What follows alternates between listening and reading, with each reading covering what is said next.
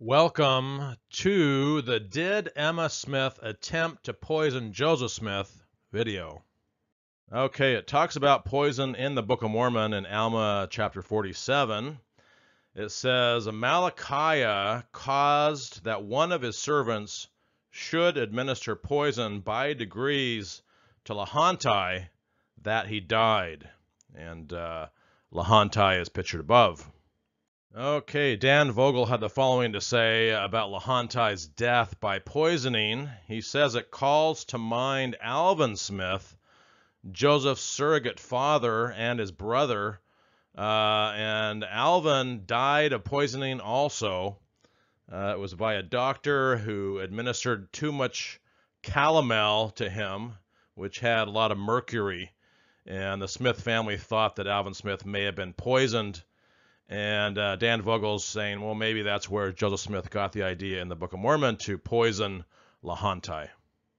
All right, and D. Michael Quinn uh, talks about another poisoning. Uh, William Smith and his daughter believe that Samuel Smith, that, and Samuel is Joseph's brother, they believe that he had been poisoned on orders of Brigham Young. Now, Samuel uh, Smith had a chance of replacing Hyrum Smith as church patriarch, uh, which was a very high calling in the early days of the church, uh, higher than an apostle, higher than even the president of the twelve. So Samuel had a chance of rep- replacing Hyrum as church patriarch and maybe eventually becoming the prophet. So uh, there were some rumors that uh, maybe Brigham Young had Samuel Smith poisoned, and uh, Samuel is pictured above. Okay, another potential poisoning was William Law. Uh, he was in the first presidency with Joseph Smith. Uh, many years later, he disclosed that once Joseph Smith knew that Jackson and the Laws were disloyal, Joseph Smith tried everything in his power to kill them, or at least discredit them. That was William Law's opinion. Uh, in an interview published in the Salt Lake Tribune, William Law described various plots on his life that he barely escaped, including being poisoned at Hyrum Smith's supposed reconciliation dinner. So William Law thought that uh, they were trying to poison him, Joseph Smith, and his cronies, uh, because William Law had turned against Joseph Smith uh, William Law was against polygamy. Uh, of course, he started the Nauvoo Expositor, which led to the series of events uh, which got Joseph Smith killed.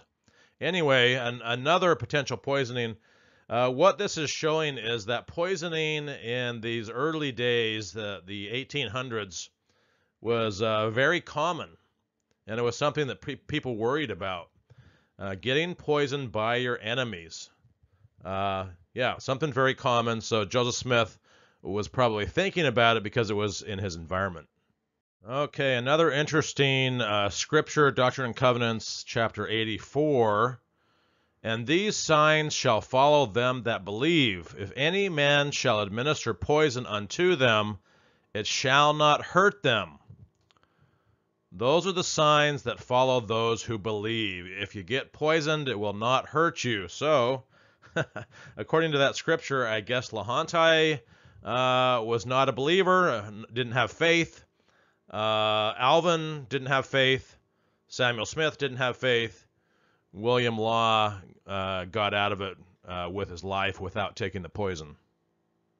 All right, so let's get into Emma Smith. Uh, the prophet Brigham Young did not like Emma, and he made quite a few comments putting her down, talking against her.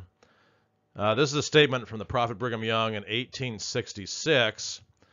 He said, I never saw a day in the world that I would not almost worship that woman, Emma Smith, if she would be a saint instead of being a devil.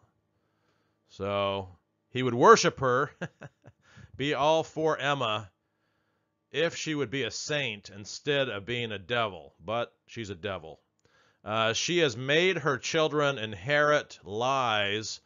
To my certain knowledge, Emma Smith is one of the damnedest liars I know of on this earth. Yet there is no good thing I would refuse to do for her if she would only be a righteous woman. Now, Brigham didn't like her because she stayed behind. She didn't follow Brigham. She started her own church with Joseph Smith III, the reorganized church. Uh, didn't believe in polygamy, didn't teach polygamy in their church, and uh, said that that was an invention by Brigham Young. So there was a feud. Okay, a statement in William Clayton's diary. He was the scribe to Joseph Smith. Those full diaries have never been released. Uh, the parts that we do have, some bombshells were revealed, especially about polygamy. We're still waiting for those diaries to be released. We don't know if they ever will. There could be some of the most uh, sensitive and controversial information in those diaries uh, to come out. So we hope that they'll release them someday, but we don't know.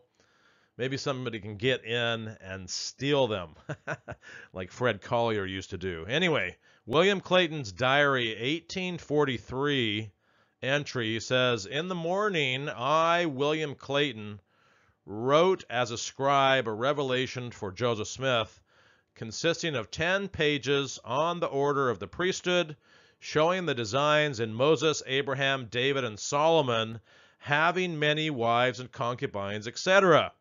After it was wrote or written, Presidents Joseph and Hyrum Smith presented it and read it to Emma, who said she did not believe a word of it and appeared very rebellious. So, uh, was Emma on to Joseph Smith that he was making these revelations up?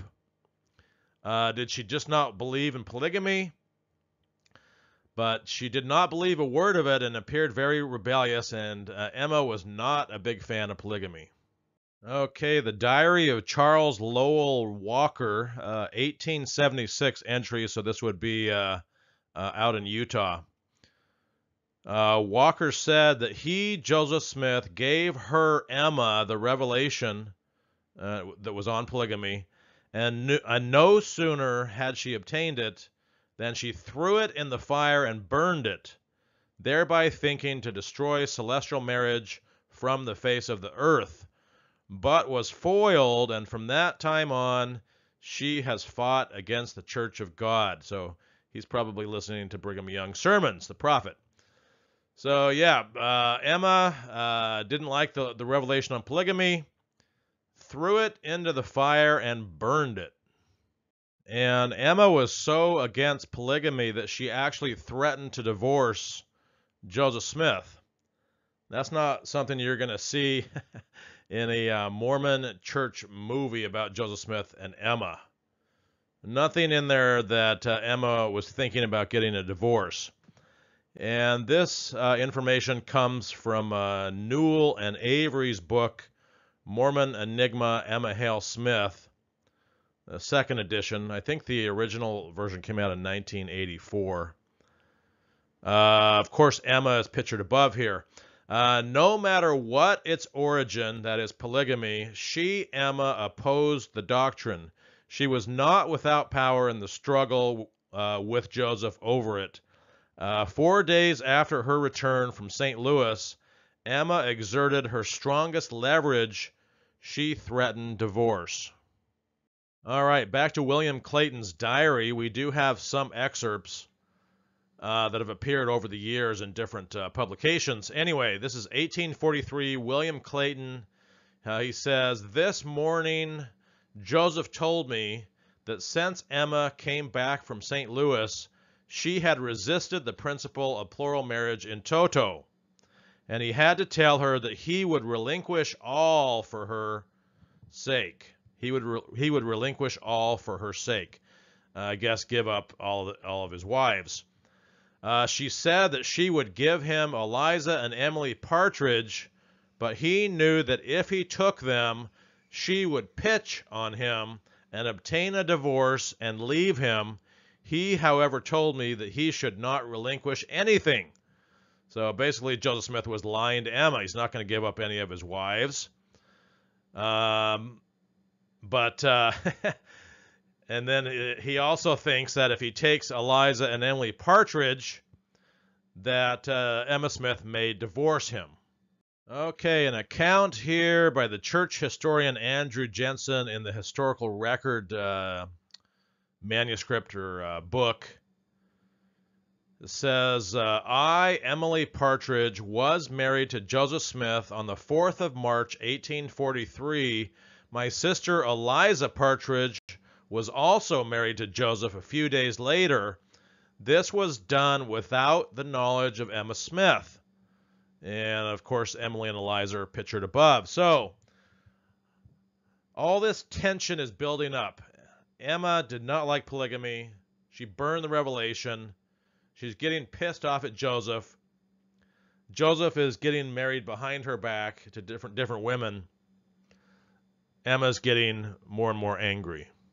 Okay, uh, Andrew Jenson's uh, account uh, continues. On the 11th of May, 1843, we, the Partridge sisters, were sealed to Joseph Smith a second time in Emma's presence. But from that very hour, however, Emma was our bitter enemy. Things went from bad to worse until we were obligated to leave the house and find another home. So Emma threw them out. He's uh, she's getting pissed off. The picture above is Emma, Joseph, and Fanny Alger in the barn. But uh, you can see Emma getting mad. She's getting mad at these other uh, plural marriages, and she probably doesn't even know half of the marriages that Joseph Smith is getting involved in. All right, some more information in the Mormon Enigma book, also from uh, James B. Allen in an article uh, that he wrote in the Journal of Mormon History in 1979. Uh, it says five days later, Emma found two letters in Joseph Smith's pocket from Eliza Snow. Emma confronted William Clayton with them and asked if he had delivered them to Joseph. Clayton denied being the courier. He said that Emma seemed vexed and angry. He also recorded that Joseph told him that Emma had said some harsh words. All right, some more information in the Mormon Enigma book. Emma went for a short carriage ride with her husband on August 22nd. She called on the Lucien Woodworth family while Joseph attended to some business at the temple. Okay, the story continues. Uh, Emma apparently did not know that the Woodworth's 16 year old daughter Flora had been Joseph Smith's plural wife since the spring. What probably began as a casual social visit resulted in a confrontation between Emma and Flora when Emma discovered that Joseph Smith had given Flora a gold watch. Emma would have recognized the implications of such a gift since Joseph Smith had also given one to Eliza Snow, another plural wife, and she Snow is pictured above. Uh, Joseph returned just as Emma was demanding the gold watch from Flora uh, and Joseph Smith reprimanded her, reprimanded uh, Emma, I guess. Okay, from the book uh, Mormon Enigma, uh, continuing, and uh, from the diary of William Clayton. Once in the carriage, however, Emma vented her own frustrations. Joseph told Clayton that she continued her abuse, quote unquote, after they arrived home, and finally, and finally Joseph Smith had to employ harsh measures to stop her. So Emma's kind of screaming and yelling at Joseph all the way home in the carriage. Joseph has had enough and finally had to employ harsh measures to stop her. Well, did Joseph Smith hit her? Did he beat her? What would be considered a harsh measure you know, back in the 1800s. Another statement by William Law here in the Salt Lake Tribune, 1886. Uh, Emma used to complain, especially because of the girls whom Joseph kept in the house, devoting his attention to them, sleeping with them. Uh, William Law reported that Emma once said, The revelation says that I must submit uh, to polygamy or be destroyed. Well, I guess I have to submit. So, what did that mean that uh, in the Revelation, Joseph Smith said that if Emma did not accept his wives, and, and we'll read the Revelation, and did not accept polygamy, she would be destroyed. Well, I guess I better submit because I don't want to be destroyed. In other words, uh, Joseph Smith uh, might have threatened to kill her. All right, so here is the revelation in the uh, famous Doctrine and Covenants, section 132, the revelation on polygamy. Got a picture here of Emma Smith above, uh, looking a little bit older, uh, getting tired from a long, hard life. Anyway, let's read this revelation. Uh, this is supposedly from the Lord uh, to Emma. And let mine handmaid Emma Smith receive all those wives that have been given unto my servant Joseph. Accept all my wives. and I command mine handmaid Emma Smith to abide and cleave unto my servant Joseph and to none else. Emma Smith was not allowed to have other husbands. Joseph Smith was allowed by the Lord, apparently, to have as many wives as he wanted. Emma was asking uh, to marry William Law. She's like, well, if, if you've got these Partridge sisters, Eliza Snow, Fanny Alger, all these others, why can't I have one? I want William Law. Well, Joseph Smith told her, You are to cleave unto me and none else. You are not allowed to have anybody but me. Uh, but if she will not abide this commandment, she shall be destroyed, saith the Lord. Right there in the scriptures, still in there today, hasn't been taken out. D&C 132, Emma being threatened with destruction. For I am the Lord thy God, and will destroy her if she abide not in my law. So it's pretty serious. Um, you know, Joseph Smith is basically threatening to kill her.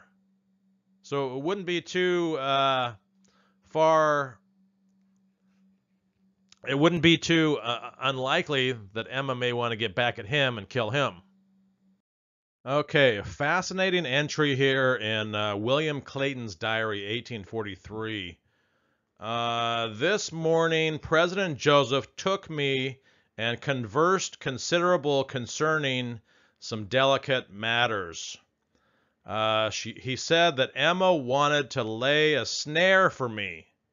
I guess he's talking about laying a snare for William Clayton. Uh, Joseph told me last night of this and said that he had felt troubled. He said that Emma had treated him coldly and badly since I came, and he knew that she was disposed to be revenged on him. Interesting. Joseph Smith knew that Emma was disposed to be revenged on him. To revenge William Clayton and uh, Joseph Smith, it sounds like. To be revenged for some things that she thought that if he would indulge himself, basically taking a bunch of wives, she would too. So, yeah, so here we get that information of why he said, you know, no, no, no, you're supposed to cleave unto me and none else. Because, hey, if you're going to in- indulge in taking more than one wife, I'm going to take more than one husband, and I want William Law. All right, so back to the Mormon Enigma book. Uh, let's get to the poisoning.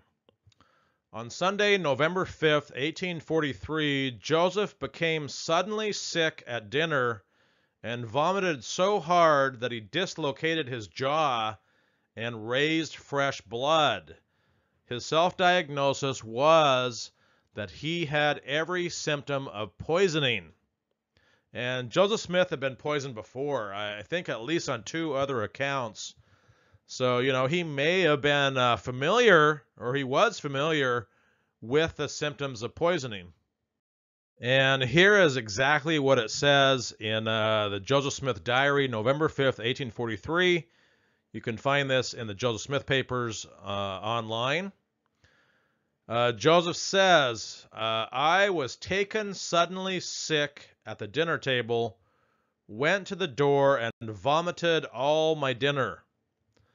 jaws dislocated, and raised fresh blood. Every symptom of poison. So here we have Joseph Smith thinking that uh, he was poisoned. He's sitting down to the dinner table with his family. Uh, Emma Smith is probably the one who made the meal. So, uh, and you know, there's a lot of tension in their relationship. So, what is Joseph Smith going to think? Okay, so uh, reading out of the diary again on November 5th uh, says we, we had a prayer meeting or circle in the evening at the hall over the store. I imagine they're talking about the red brick store, the second level, uh, where they were doing an early version of the Mormon temple endowment ceremony, and part of that uh, was a prayer circle. Uh, but then it says Joseph did not dress nor Emma. So they basically had their temple clothing, uh, but Joseph and Emma did not get dressed in their temple clothing and did not participate in the prayer circle. So something major must have happened. And here is a picture of what they wear in the temple in the modern day, all white with a green apron. Uh, they're sliding their thumb across their throat. Uh, that was a penalty gesture uh, uh showing ways that life can be taken that was taken out in 1990. All right, so from the Mormon Enigma book, uh, they talk about this. Evidence suggests that Joseph indeed accused Emma of poisoning his coffee his diary records that he and Emma did not participate in the prayer circle at that meeting.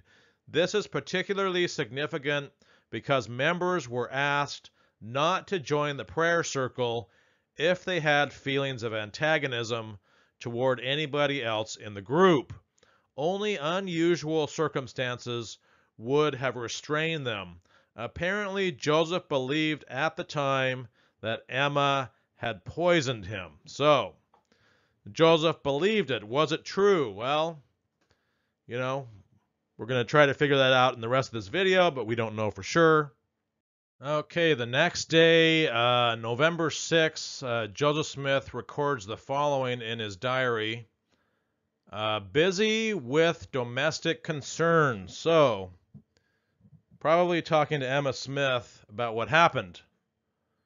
Uh, the idea that he thinks maybe she tried to poison him. And then she's going to say, Well, you threatened to destroy me in the Doctrine and Covenants unless I do exactly what you say. So they're going to have this nice long argument on November 6th. Uh, it's probably what he's talking about with busy with domestic concerns. All right, so about 11 years later, the prophet Brigham Young talks about this poisoning of Joseph Smith uh, several times. This one comes out of the Leonard J. Arrington papers. Uh, it is not well known at all. In fact, I don't think uh, this is anywhere else on the internet. Uh, it says Emma tried to poison her husband and was connived with the mob that did kill him.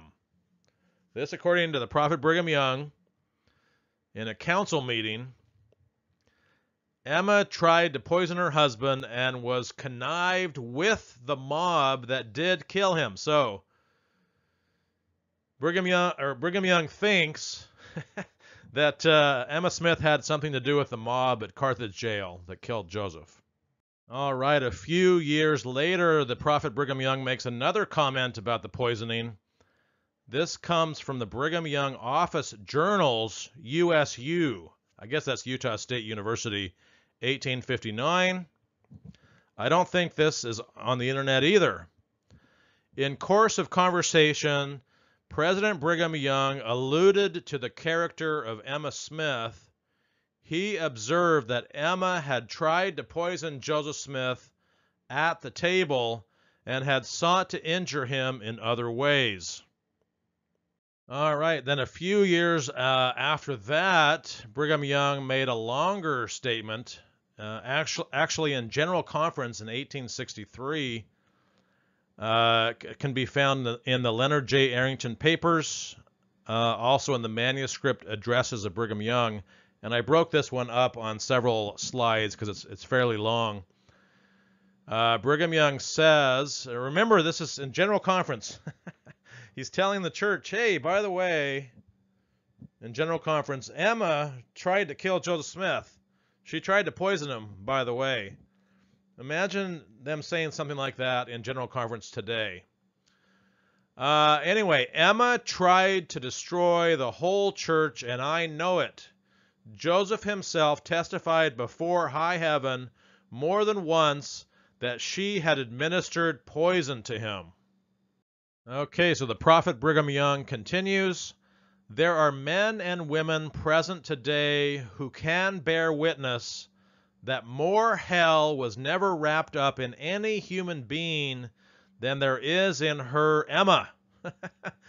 Emma has more hell wrapped up in her than any other human being that has ever lived.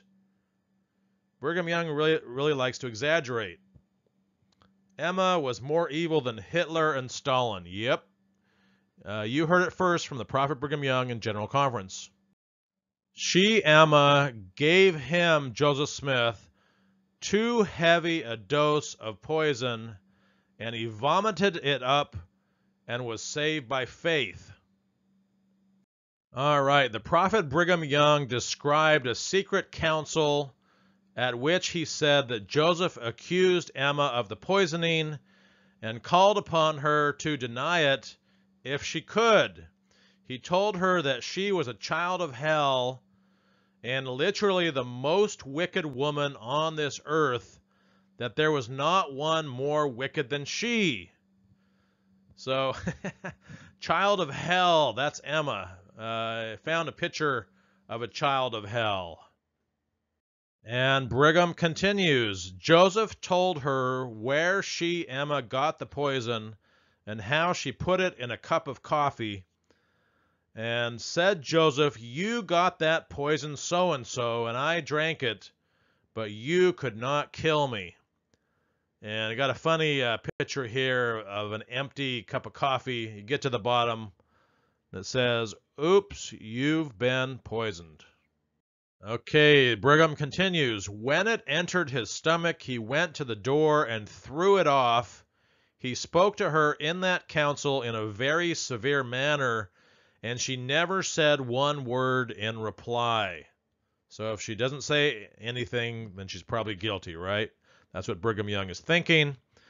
He has all the facts right, which is interesting. This being, you know, 10, 15, and 20 years later, uh, he's got the facts right, you know, from, from what Joseph put into his diary. Uh, he spoke to her in that council in a very severe manner. It's probably up on the second floor of that red brick store. Uh, I guess in a council, you know, before or after that prayer circle. I'm guessing that's where that occurred. I have witnesses all around who can testify that I am now telling the truth. Twice she undertook to kill him. Emma Smith tried to kill Joseph Smith twice, uh, according to Brigham Young.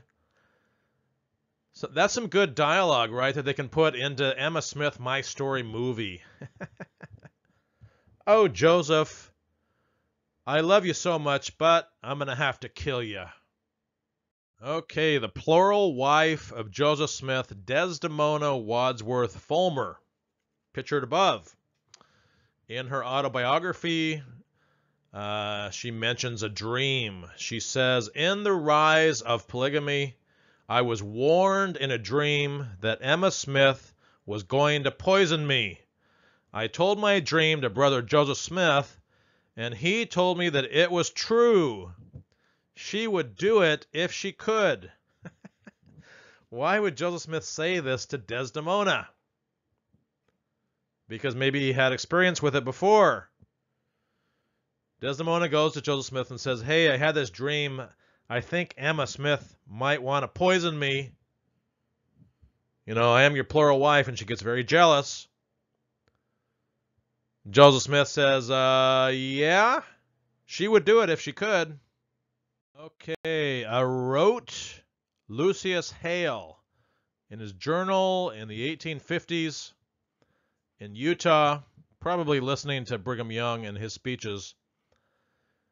Uh, wrote, not sure how you say that, he says, a great many of the saints in these days think that the prophet Joseph Smith's wife, Emma Hale Smith, was a bad woman, that she tried to poison the prophet. All right, uh, another account in the diary of Charles Lowell Walker, 1876. It says uh, Solon Foster also related that when Emma, Joseph Smith's first wife, heard of the revelation on polygamy, she sought the life of Joseph and tried to poison him. Uh, but he was delivered by the power of God. And uh, Charles Walker is pictured above. All right, I'm not going to go too much into the apologetic uh, position. I'm just presenting the evidence. You can decide for yourself, but I did find this a really lame apologetic statement uh, by this lady, uh, this Mormon lady, Heather Farrell, on her blog in 2011. I guess she's a Mormon author. Uh, her website is womeninthescriptures.com. Uh, one of her books is Walking with Women of the Book of Mormon. Yeah. Do you know how many women are mentioned in the Book of Mormon by name? And I did a video about this. Three. That's going to be a pretty short book. Uh, anyway, uh, Heather Farrell says Emma never poisoned Joseph because she was jealous of his other wives, as some people accuse her of doing. It was bad chicken. Show me the account that says it was bad chicken.